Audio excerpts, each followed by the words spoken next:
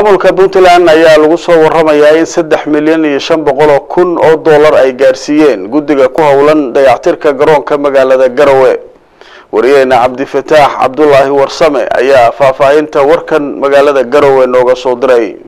kadib munaasabad si hersara loo soo agaasimay oo lagu qabtay jaamacadda bariga afrika farceeda magaalada garowe ayaa madaxweynaha puntland cabdiweli maxamed cali gaas waxa uu guddiga dhismaha garoonka diyaaradaha ee magaalada garowe uu ku wareejiyey lacag dhan laba milyan iyo shan boqol kun oo dollarka maraykanka. Sidoo kale waxaa madaxweynuhu ku wareejiyey guddiga gacanta ku haya waddada isku xirta ceel daahir iyo ceeri gaabo hal milyan taasi oo qayb ka ah dhammaystirka dhismaha labadaasi mashruuc cumar cabdulaahi faraweyne gudoomiyaha gobolka nugaal oo furitaankii munaasabadaasi hadal ka jeediyey waxa uu madaxweynaha puntland uga mahadceliyey ka qayb qaadashada horumarinta caasimada puntland.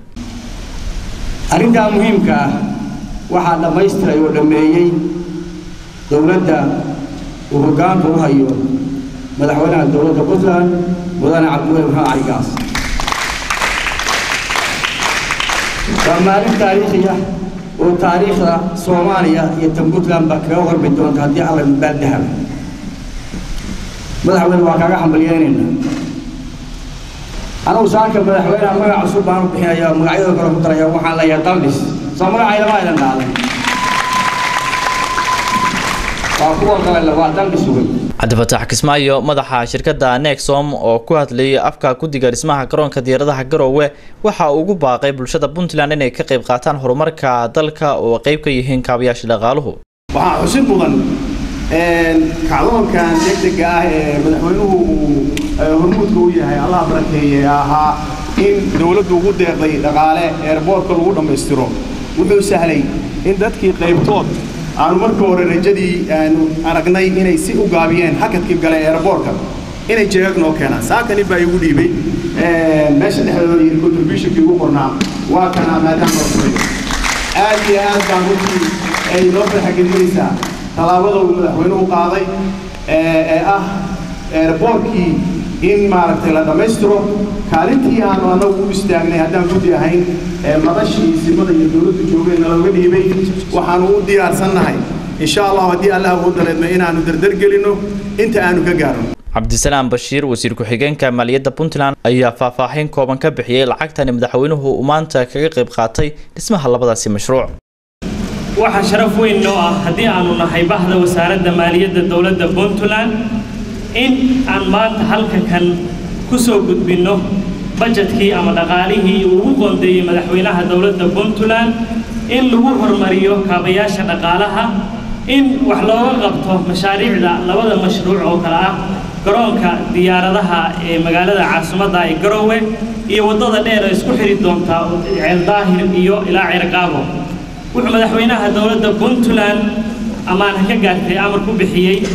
in loogu deeqo garoonka diyaaradaha ee magaalada garowe lacag dhan laba milyan iyo shan boqol oo kun oo dollarka maraykanka ah. Sidoo kaleeto madaxweynuhu wuxuu nagu amray inaanu ku bixinno waddada ceel daahir ceergaabo lacag dhan hal milyan oo dollarka maraykanka ah wasiirka duulista hawada puntland injineer xasan cadde ayaa sheegay in muddo uu hakad galay shaqada garoonka diyaaradaha ee garowe balse gabagabadii lagu guuleystay in dib loo bilaabo dhismihiisa. Ugu dambeyn madaxweynaha puntland oo soo xiray munaasabadani oo waqti badan qaadatay ayaa sheegay in gacmo dad kale wax laga sugin ee shacabka puntland ay xoogga saaraan sidii ay wax u wada qabsan lahaayeen. Mashruucan oo la socotaana waxay ahayd inay maalgeliyaan dowladda kuweyt annagoo og dhaqaalihiisa wada bixin waxay yidhahdeen mashruuca bilaaba markaad bilowdaan qaybtoona idin siinaynaa kabacdina markaad hawsha dhex gashaan ayaanu soo dhammaystirayn. Sideed bilood bay maraysaa? Aan sugay. Maalin walba nin la yidhaahdo cabdiqaadir amiino ambaashatoorka dowladda somaaliya u fadhiya kuweed ha la hadal. Maalin nimanada naarko iyo nin nabi la yidhaahdo la hadla oo nimanka hawshaan ku qaatay qandaraaska ha noqoto maalmo war baa naloo sheegayaa marka war muxuu u baahan yahay aeroboortka lagu dhammaystiro waxaa la yidhi ugu badnaana shan milyan buu u baahan yahay ugu yaraana saddex milyan oo dollar buu u baahan marka inaan amiir aan sugno fadhino oon idhaahdo waan sugaynaa lacagta markay timaadaan la dhammaystiraya maxay caddaatay inaan dhameerka uusan la dhammaystiri doonin hasadday noqoto su'aashaas cabdifataax cabdulaahi kalson t v garowe